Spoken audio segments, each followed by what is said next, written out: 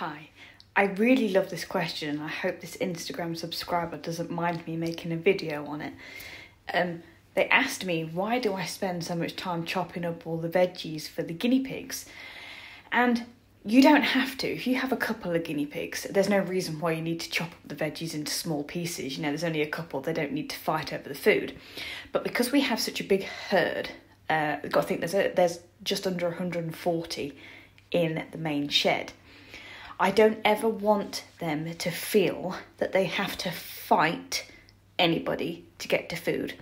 So that's why I spent a considerable amount of time chopping up all of the all of the veggies into you know little chunks so that we can spread it out among the platforms and amongst the floor so that everybody knows that they're going to get food. It discourages any arguments, you know, they then they don't have that anxiety about meal times, which I've seen with a lot of rescues that have that, you know, fear that they're not going to get any food. And I don't want that for the herd.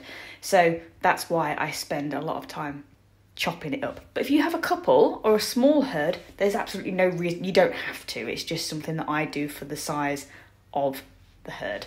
I hope this helps.